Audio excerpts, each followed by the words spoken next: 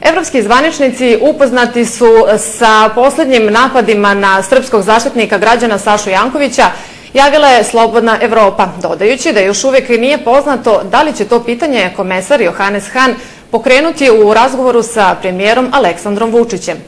Da li će zbog sve češćih kritika koje pojedini predstavnici vladajućih stranaka upućuju na račun ombudsmana biti pokrenuta zahtev za njegovu smenu, pitanje je na koje je odgovore na pravo mesto za takvu inicijativu tražila Svetlana Božić-Karinčanić. Poslanici opozicijonih stranaka ne računaju da će vladajuća većina, bar za sada, smeniti Sašu Jankovića. Pošto Vučić nema hrabrosti da smeni Sašu Jankovića, jer bi za to dobio jednu veliku e, kritiku iz Brisela.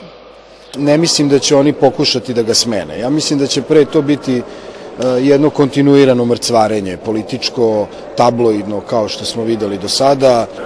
Podsjetimo da se o Saši Jankoviću govori i u rezoluciji o godišnjem napretku Srbije koju je nedavno usvojio Evropski parlament. Naime, ističe se da bi trebalo prestati sa napadima na ombudsmana i omogućiti mu bezbedan rad.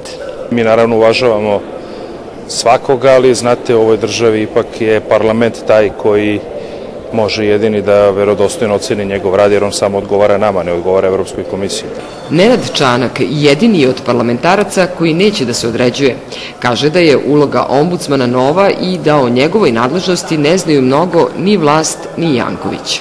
Nemam nameru da se stavljam ni na jednu stranu i nemam nameru da uh, budem još jednom rob klopke koja se odavno iz beogradskih kuhinja postavlja celoj Srbiji, a to je da se stave dve alternative, pa onda birajte između leve i desne. Neodređeni su socijalisti. Đorđe Milićević kaže da SPS čeka stav nadležnih institucija. Ukoliko je to tačno, znate, mora se postaviti znak pitanja da li neko, ukoliko je to tačno, može, može obavljati tako odgovornu i ozbiljnu funkciju.